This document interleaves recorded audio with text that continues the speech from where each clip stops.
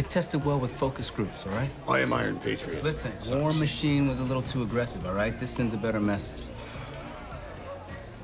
So what's really going on? Mandarin. Seriously, can we talk about this guy? It's classified information, Tony. Okay, there have been nine bombings. Nine. The public only knows about three. But here's the thing nobody can ID a device. There's no bomb casings. You know I can help. Just ask. I got a ton of new tech. I got a prehensile suit. I got, I got, I got bomb disposal. Catches explosions midair. So last time you got a good night's sleep. Einstein slept three hours a year. Look what he did. People are concerned about you, Tony. I'm concerned about you. You're gonna come at me like No, that? look, I'm not You're trying to dead. be a dick. Tater. Do you mind signing my drawing? If Richard doesn't mind, you all right with this? Yeah. Dick? Fine with me. What's your name? Aaron. I loved you in A Christmas Story, by the way. Listen, the Pentagon is scared.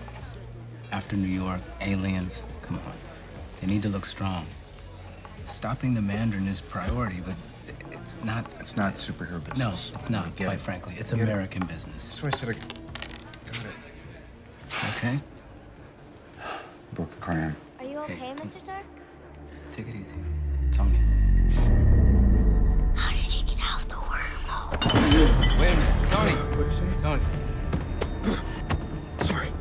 Just check out the suit. Okay.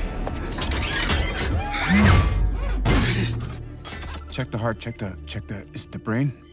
No sign of cardiac anomaly or unusual brain activity. Okay, so it's poison.